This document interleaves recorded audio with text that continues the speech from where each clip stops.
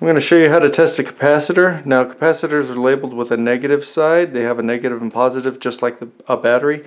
And it's important to remember which way it was facing when you pull it off your board so that if you put on a new one, you know which way to put it.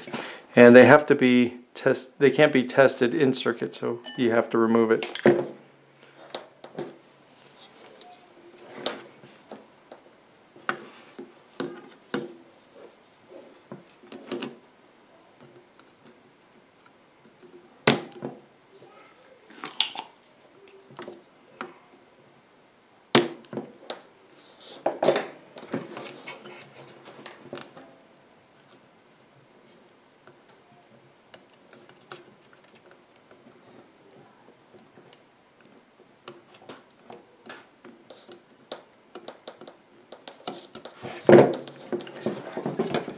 If your multimeter can test capacitance, flip it over to there.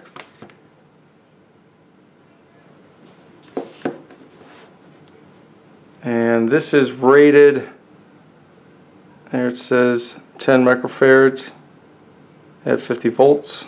So let's see if it's coming out at 10 microfarads. I'm going to press the black on the negative and the red on the positive and it's showing a reading of 10 and a half microfarads which is well within range. You got a plus or minus 5 to 10 percent. And so this is a good one